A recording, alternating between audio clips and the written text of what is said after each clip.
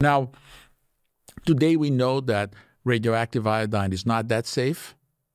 Uh, there, what are the consequences that well, people should there, be aware of? There are lots of studies showing that there you could have uh, increased uh, cancer, different types of cancer in those patients that take radioactive iodine. Local cancers uh, to the neck primarily, or anywhere in the body? I think that uh, I think it was breast cancer that was found in lung cancer. I'm not sure. I'll, mm. I'll have to check on that. But there is increased incidence of cancer in patients that take radioactive iodine.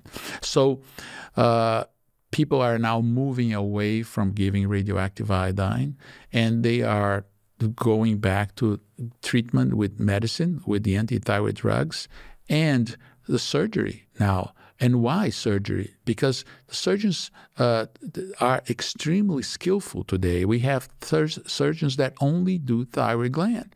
So uh, we know that you know surgeons can do uh, between 100 and 150 thyroidectomies per year, those are the, the best ones. I mean, if you go see a surgeon, you don't want to go to that surgeon that operates 10 patients per year.